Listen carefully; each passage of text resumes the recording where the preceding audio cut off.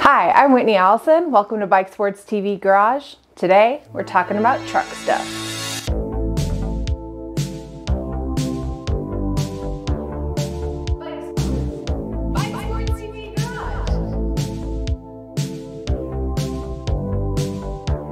So Zach and I, for the most part, if we need to drive around town, we're driving a little old EV that we picked up a while back. But for all of our eventing needs and travel, we drive a F-250 that's been modified to run on waste vegetable oil. We picked it up uh, probably about five years ago when we couldn't rent a truck for Foco Fondo, and we picked it up for 3,500 bucks off of Craigslist. So today we have special guest Zach Allison who's going to walk you through how Big Red works on waste vegetable oil. What's up crew? Zach here with Bike Sports.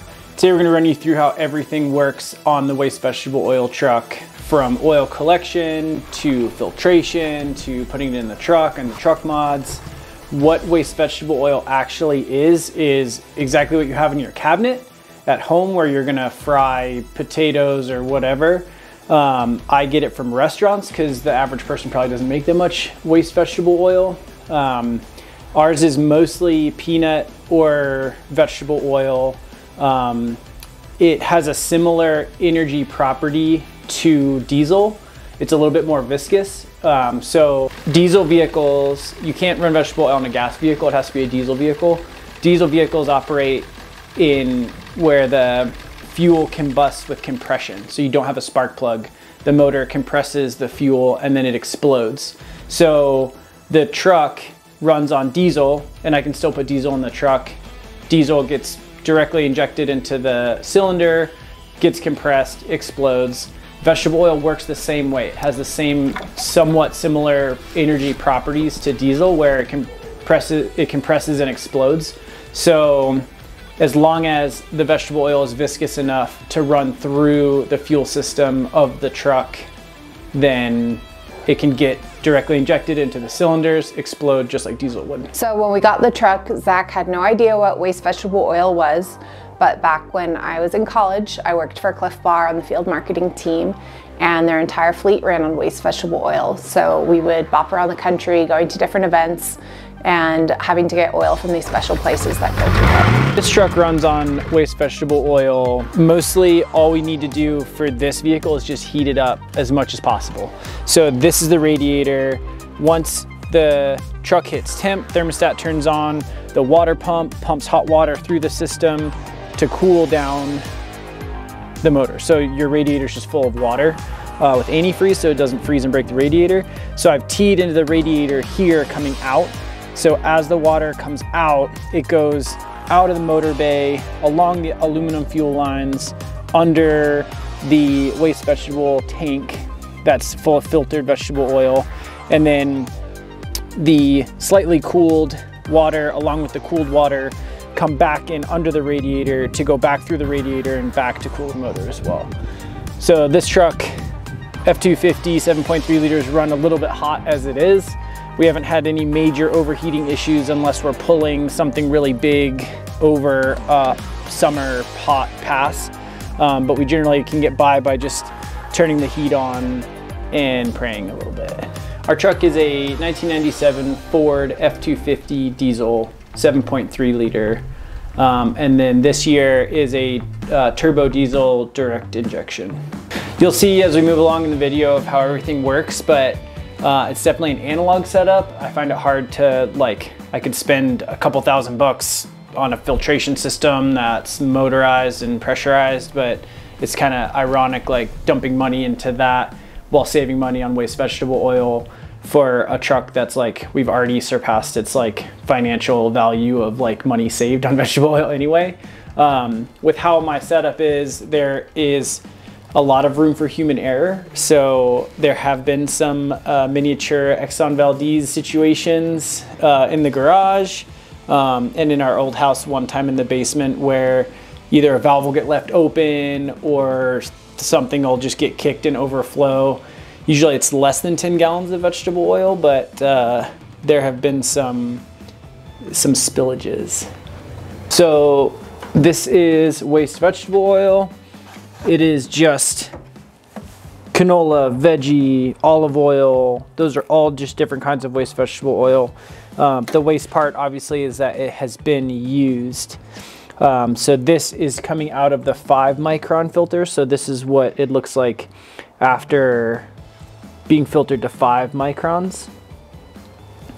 And then this is what it looks like right before it goes into the truck at one micron. So it's just a little bit cleaner.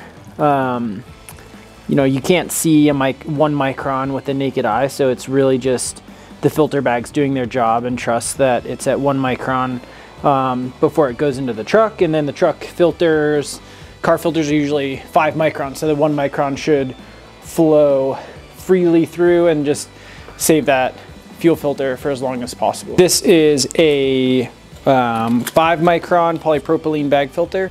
So this droops all the way down and then gets filled with vegetable oil. Um, and then these two are five micron. These two are one micron and then it's just gravity. So in winter, I've got a little strap on this one. Generally it flows pretty good through the bucket filter at like one to 200 micron. This gets hot, so it filters a little bit more quickly when it's hot. Um, and then if I have a long trip and I'm processing as much oil as possible, it's hot, warmer to go through there. And then it goes pretty easily into the truck, whether it's hot or cold, and then gets heated up in the truck while we're driving. And then explodes in the motor, propelling us to wherever we are going. So when I get the vegetable oil from the commissary kitchen or from the food trucks, it comes in these cubes. So these are 35 pounds. I'm not sure, like the US, you know, anything but the metric system. So this is 35 pounds of vegetable oil, um, which I've measured out to 4.5, it's like 4.8 gallons. Um, so each one of these cubes I kind of equate to like just under five gallons. Um, it doesn't matter how much it actually is in here. I'm kind of just filling each one of these up and processing it as I go. And then when I'm putting it in the truck, I'm kind of measuring out the mileage of like, if we're going to Salt Lake City, then that's 800 miles um, round trip. So then I'm looking at, you know, something around 50 to 70 gallons uh, of fuel, which is pretty easy for us to carry between the 50 gallon slip tank and these 4.8 gallon jugs. Um, so this, you know, waste vegetable oil, this is how it comes when it's not waste vegetable oil and it's just vegetable oil. Um, here's the chemical properties, um, not chemical properties, but like nutritional facts. Uh, I wouldn't recommend drinking it, but um, energy density wise, similar to diesel, way more viscous, mostly because of the glycerols. Some people actually process their own uh, biodiesel, which is super cool. I haven't gotten that into it yet. Um, it requires like methanol washes and a lot of chemistry. I'm terrible at chemistry.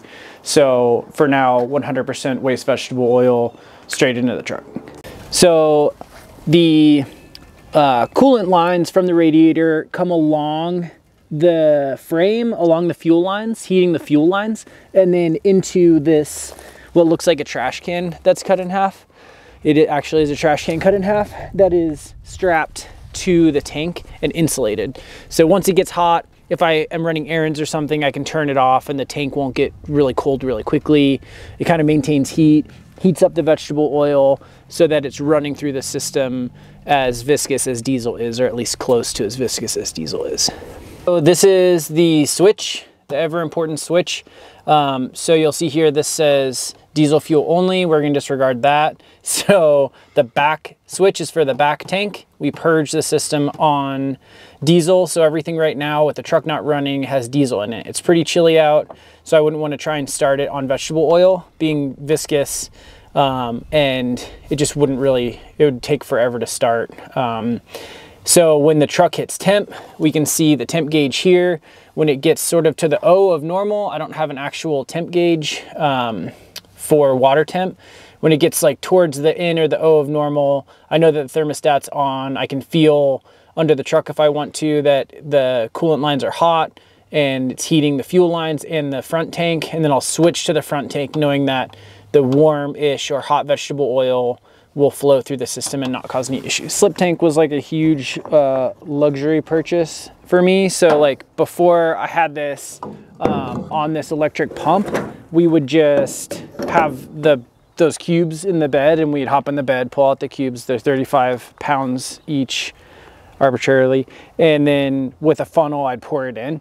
So you're like driving through Wyoming, it's crazy windy. You're like just pouring from a jug into a funnel and a gust of wind just like covers you and you feel like a chicken nugget and smell like a chicken nugget. But so this, I just turn on the pump, fill up the tank, and we're going and I don't feel like a chicken nugget anymore. So we haven't had any big trips for a while. So this guy looks like, I don't know, 45 gallons, 40 gallons. Um, so a solid amount. This is probably at 35 or so gallons. And then I just filled a slip tank to go on a trip last week to an airport run. So this guy's probably at 20, 25 gallons. So uh, definitely over 100 when we're getting ready for the next drive. Um, I'll go by all the commissary kitchen, restaurant, the food truck friends, and kind of grab all the oil and then just filter down the line into the slip tank and then carry however much extra I need if it's over a thousand miles. So the only like kind of issue that we have, which is ongoing and happens with any vehicle, or especially like a truck this size, is the fuel pressure can get low. Um, so it gets low if I switch it to vegetable oil too early and the vegetable oil is cold. Um, when the, it also happens when the fuel filter starts to get clogged. So every like, at this point, our fuel is probably cleaner than what you buy at the store. So um, it's like seven to 8,000 miles the fuel filter will start to go. So we've kind of been in like a parking lot or something and we've gone to replace the fuel filter, which is super easy just pop up this sick little lid that has no purpose. And here's the fuel filter. So we kind of always have a couple fuel filters on hand uh, where we can just pop the fuel filter out, pop the new fuel filter in, and then back on the road. All right, thanks for joining us on Bike Sports TV Garage, episode on truck stuff. We'll see you out there. Truck stuff. Purse, purse. Lightning, lightning, lightning. Don't forget to like and subscribe.